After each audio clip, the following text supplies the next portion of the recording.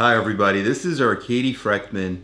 I'm a personal injury attorney here in New York City, and today I wanted to talk about greed. It's mine, you understand? Mine, all mine! And how greed can prevent you from receiving the maximum compensation that you are entitled to. So, a client calls me from another state and he gets hit by a commercial tow truck and he has serious life changing injuries, including a traumatic brain injury and a shoulder tear requiring surgery.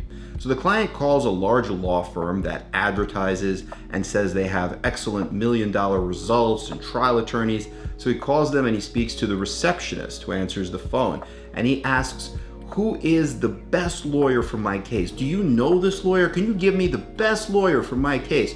And the receptionist says, Yes, yeah, sure, it's Matthew Smith, and gives him this lawyer. And so months go by, and he has this lawyer, and he thinks everything is fine. And then he finds out this lawyer doesn't even work for that law firm. It just so happens that the receptionist is friendly with this lawyer, Matthew Smith. And now this guy, you know, somehow was able to steal this case over from this other large firm.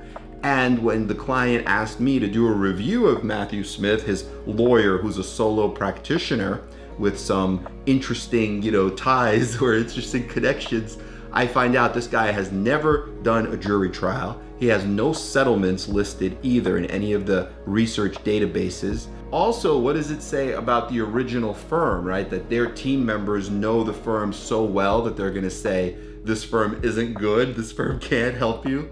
So it really goes to the issue of greed. And how does greed play a role in choosing your attorney? Or why do attorneys focus on greed rather than doing what's best for their client? And it's really like one of those cartoons where you know you see the little person and he sees something like um, a diamond and it's the biggest diamond they've ever seen and he becomes hypnotized and he's just like i want it i want it i have to have it but you can't touch that diamond if you touch the diamond the whole the whole place is gonna explode, right? Everyone's gonna die. Die! Even driving to work today, I saw a billboard on the highway, and the billboard says, get paid for pain.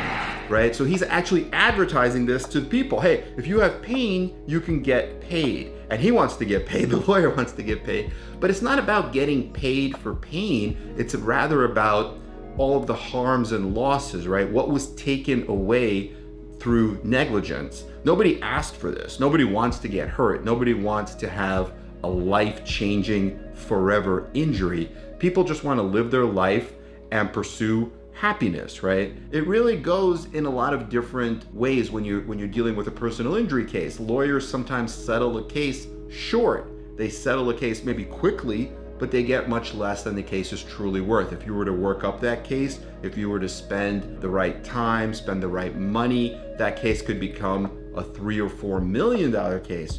But sure, you could sell a three million dollar case short and get maybe 300,000 now and the lawyer collects a $100,000 legal fee and the client still gets 200,000 in their pocket, which is a lot of money, but it could be a $3 million case, right? Or a $6 million case. And then it's a completely different. Then the client is getting 4 million in their pocket, right? If it's a $6 million case. And then there was another story from a client who had a serious construction accident and what happened to him was he thought that he hired a lawyer and a law firm in Manhattan. He hired them and they were supposed to be handling his case. But for whatever reason, I guess that lawyer didn't know how to handle complex construction cases. So the lawyer made a side deal, an under the table deal with one of his buddies. So the buddy was handling the case, kind of like moonlighting from his job because the buddy was actually a defense lawyer who worked at an insurance defense law firm and you know was getting paid by this law firm representing insurance carriers.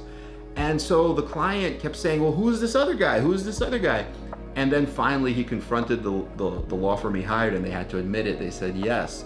And so while it may be okay because if the main lawyer doesn't know how to handle construction cases and this insurance defense guy does know how to handle them because he's been defending them for 20 years, you might be okay on the issue of liability or fault. But what about when you get to damages?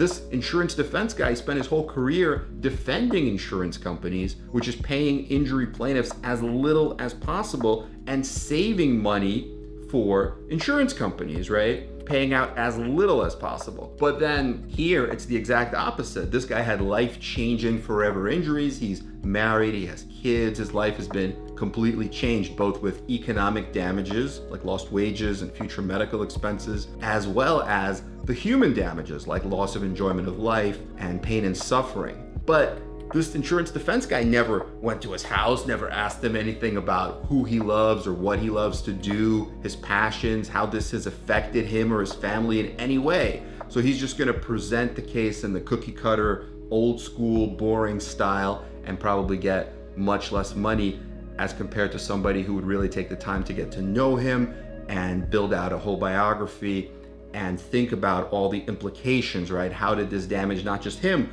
but his, him and his wife, the marriage, the, the family, the friends, the co-workers, the neighbors. How did this damage his life, right?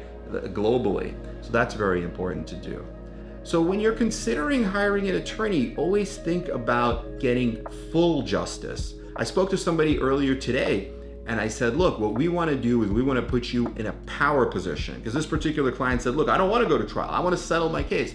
And I said, look, that's fine, but to settle your case, what you need to do is prepare for trial. If you prepare for trial and you show the insurance company, look, we did everything.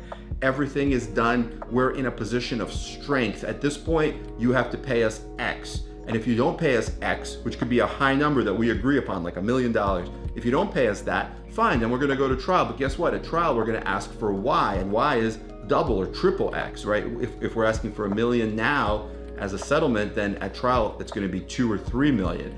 And so, but the only way you can do that is if you prepare the case for trial, and that's how you get full justice. So you have to consider all of these different factors but the important thing is you have to set greed aside and do what's best for the client. And I think the only way to really truly do that is if you're passionate about it and you have it in your heart and you want to help people and this is what you love to do, which is something I feel. So I hope uh, this was helpful and uh, I hope clients make the right decision because it's your life and it's very important to make the right decision and get the best possible justice, full justice for your case.